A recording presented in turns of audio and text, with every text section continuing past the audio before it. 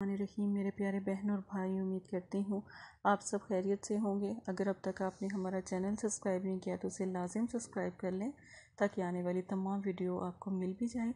अगर आप इस्तखारा रूहानी इलाज करवाना चाहते हैं तो इन आप ज़रूर रबता करें, आपकी ज़रूर मदद की जाएगी। आज जो मैं अमल आपको बताने लगी हूँ, एक ख़ास अमल है, ठीक है? और ये अमल सिर्फ़ निकाह का है। जो अपने प्यारों से निकाह करना चाहते हैं सिर्फ़ वो ये अमल करें। अगर कोई बेटी है, वो किसी से बात नहीं कर सकती और कहीं शादी करना चाहती है तो वो ये अमल करें। अगर कोई भाई है, अगर वो शादी करना चाहते हैं, लेकिन उनके घर वाले या कोई फैमिली मेंबर्स नहीं मान रहे या लड़की वालों के नहीं मान रहे तो ये अमल उनके लिए है। जो इस कदर नायाब हैं कि मतलूब को बेकरार करने के लिए, खूब की कामयाबी के लिए ये रिश्तों की बंदिश को ख़त्म करने के लिए अमल किया जाता है। या अल्लाह और या वदूदों का एक मैं आपको बताने लगी हूँ, ख़ास तरीका जो आपको कभी कोई नहीं बताएगा। आपने क्या करना है, एक हरे रंग का कपड़ा लेना है, छोटा सा बेशक ले लें, हरे रंग के कपड़े के ऊपर आपने पहला हरफ, जिस, जिससे मतलब कि आपने पहला हरफ अपने नाम का लिखना है और जिससे आप मोहब्बत करते हैं, चाहत करते हैं, जिससे आप निकाह करना चाहते हैं, जिससे आप रिश्ता करना चाहते हैं उसका लेना है। ठीक है? उसका पहला हरफ ले लें, ठीक है? और अपना पहला हरफ ले लें।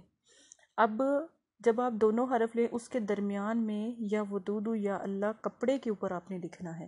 पहला हरफ आप लिखेंगे कपड़े के ऊपर अपने नाम का, फिर या वदूदू या अल्लाह लिख कर फिर अपने, जो कपड़े के ऊपर, दूसरा उसके नाम का लिख देंगे।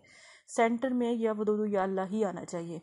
अब आपने क्या करना है कि उस कपड़े को खुशबू लगानी है। अतर खुशबू लगा दें, कोई असेंशन ऑयल लगा दें, कोई परफ्यूम लगा दें, कुछ भी लगाएँ। ठीक है, पर महक उसकी इतनी तेज़ हो कि वो उस जो मतलब कि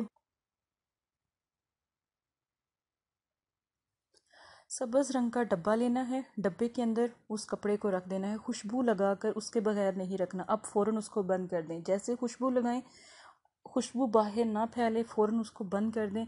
जब तक वो नाम और जब तक वो ग्रीन कलर का कपड़ा, जब तक आपका निकाह नहीं हो जाता, इक्कीस दिन के अंदर अंदर आपका निकाह होगा। कुछ भी हो, आपने उस डब्बे को बाहर, उस कपड़े को बाहर नहीं निकालना। जब आपका निकाह हो जाए, आप उसको बहा दो। ठीक है? फ़र्ज़ करो, अगर किसी ने आपको ब्लॉक कर दिया है, स्टॉप कर दिया है, तब भी ये अमल करें। जब तक आपका उससे रबता नहीं हो जाता, डब्बे को आपने हिलाना नहीं है, ना ही उसकी जगह बदलनी है, एक ही जगह उसको रखना है। गलती की कोई गुंजाइश नहीं है, किसी ऊँची जगह उसको छुपा कर रख दें तो जहाँ पर किसी की नज़र तक ना पड़े। और फिर देखिएगा, ये कितना, ये अमल कैसे काम करता है।